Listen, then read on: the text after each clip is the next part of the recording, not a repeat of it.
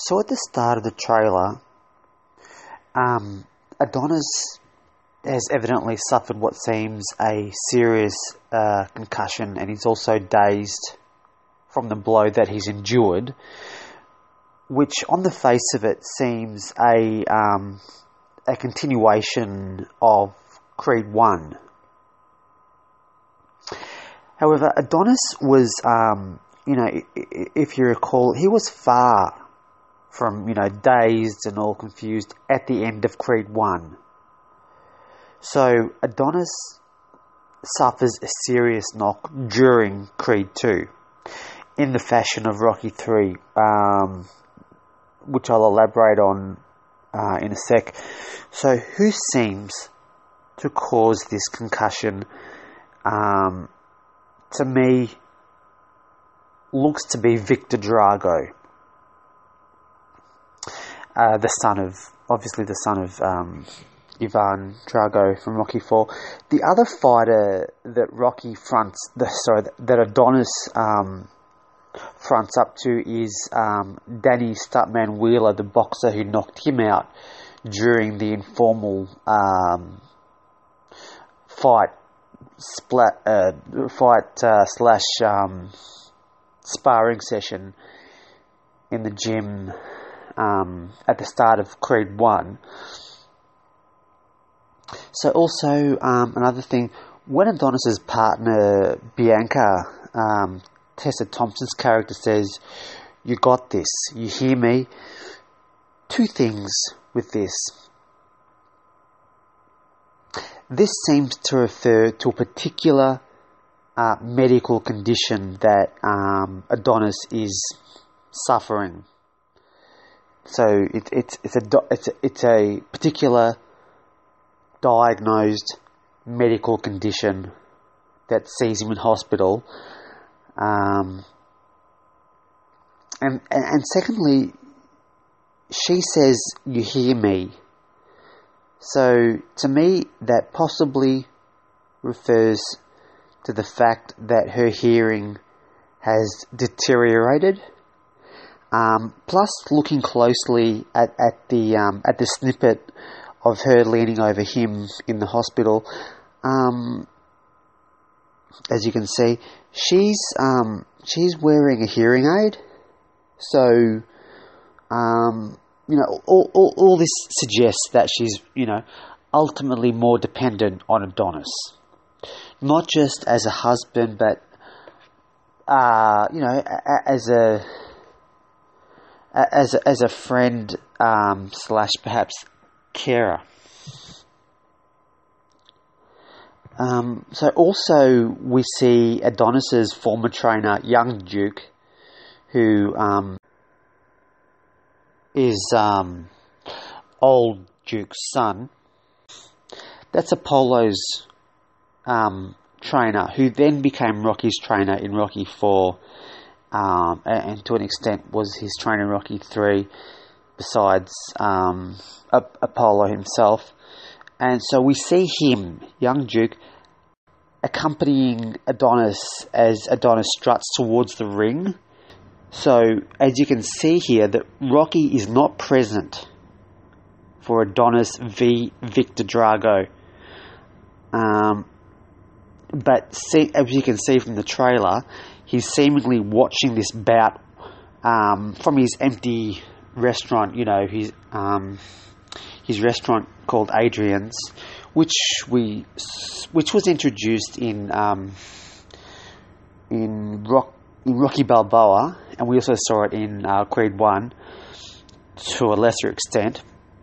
So he's sitting there, you know, watching the TV screen um, with a deep level of, you know, concern and foreboding written across his face. Um, and to me, just uh, it, that shot of him looking up there, um, know, for some reason, it reminded me of um, when he was watching that, you know, the cartoon fight of um, Rocky. Um, Rocky, you know, what's his name in in Rocky Balboa? Oh, Mason the Line Dixon. Um, so so to me, it seems that um, the Adonis v Victor fight is actually what um, sees Adonis end up in hospital. Looking at this trailer, it seems to me that they've potentially, uh, you know, switched around the order of things. So you know, we we we firstly see him, you know, um, being knocked out and having that torch or flashlight, you know, shoved in his face. Um, so we see that first. Whereas, uh, if they, you know, chronologically, that might not be what actually occurs in the film. So, you know, it, it, it does seem that um, what happens is, um, you know how Rocky um, is is is talking to Adonis, you know, in the in the street at, at, at night there, and he's saying to him, you know, listen, this guy is dangerous, you know. That might just be, um, I would say, like possibly in the first act. So, like, what I, what it looks like, and and um, Rocky did, uh, sorry, Sylvester Stallone did reveal a bit of his screenplay, and what it seems is that um, around the first act, um, Adonis becomes champion of the world by defeating Danny Wheeler. And then he, you know, um, based on his um, all his glory and so forth, he then and and and um, you know in Rocky three how um, Rocky was sort of you know ro- um, riding high, and he's you know he was all sort of egotistical based on all his wins and so forth. It might just be that Adonis is also a bit cocky in this film, and you know, and and I think that can be substantiated by the you know we see him um, with you know the media sort of you know filming him and in, uh, training and so forth. And it seems that he's also um, doing some kind of um, some kind of advertisement when he puts on the sunglasses. So um, it might just be that we have um, we have Adonis versus Danny Wheeler, say um, I don't know, about the 20 minute to 30 minute mark of the film. And then we have, um, so Adonis is then sort of all confident, and then he's like confident enough to take on um,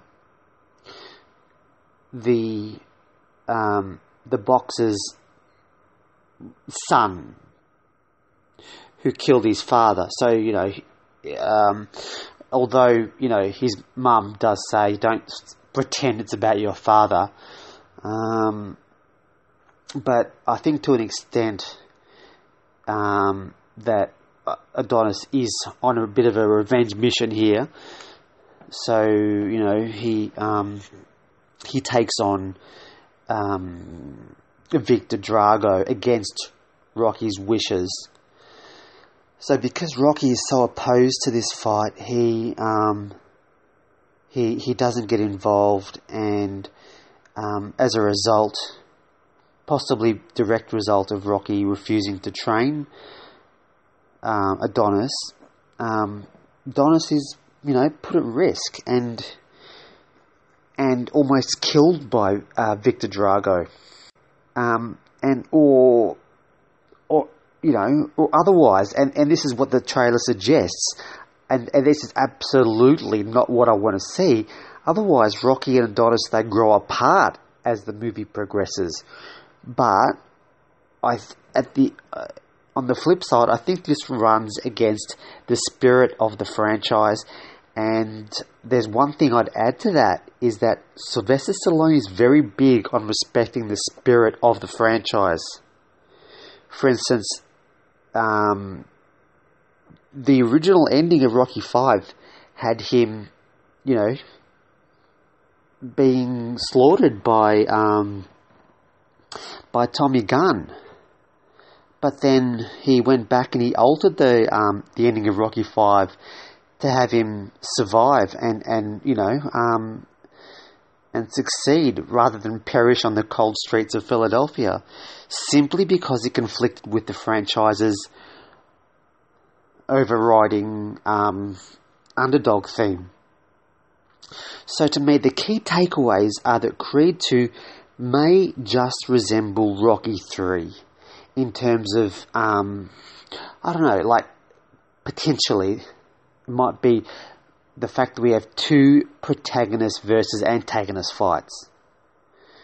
Um, so that, you know, we have a fight with um, Danny Wheeler in the first act, and then uh, shortly after, I'd say perhaps um, 20, I'd say it, it, can't be that much longer. I, I, if, if my theory is correct, it'd have to be about 20 minutes later. We then have a fight with um, with Victor Drago.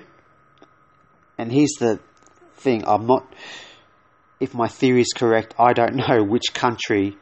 Um, I don't know which country they'd be fighting in first. Um, it, it, would be interesting if they, and here's the, and if Rocky isn't attending the first um, Adonis v Victor fight, that might potentially suggest that the first fight is in um, takes place in Russia. Um, and so, um, and an overly cocky Adonis is almost killed by Victor Drago in this original, in this first uh, bout. Which then, so in, in, in the you know in in the um, in in the final perhaps forty minutes um, at the you know towards the end of um, Act Two, approaching Act Three. I mean, you know, it might not be a simple three act structure, you know, because I mean, Rocky One was what was it, seven acts or something. I think. Um, so it might it, this story might not be a simple three act structure. It might be, you know, I don't know. It might be four, or five acts. So we might have then in the in, you know in the last two acts we might potentially have um, Rocky, you know, motivating Adonis and, and sort of, you know, um, training him and, and, and, upskilling him to um, to take on uh, Victor Drago once again. Thanks for listening, guys.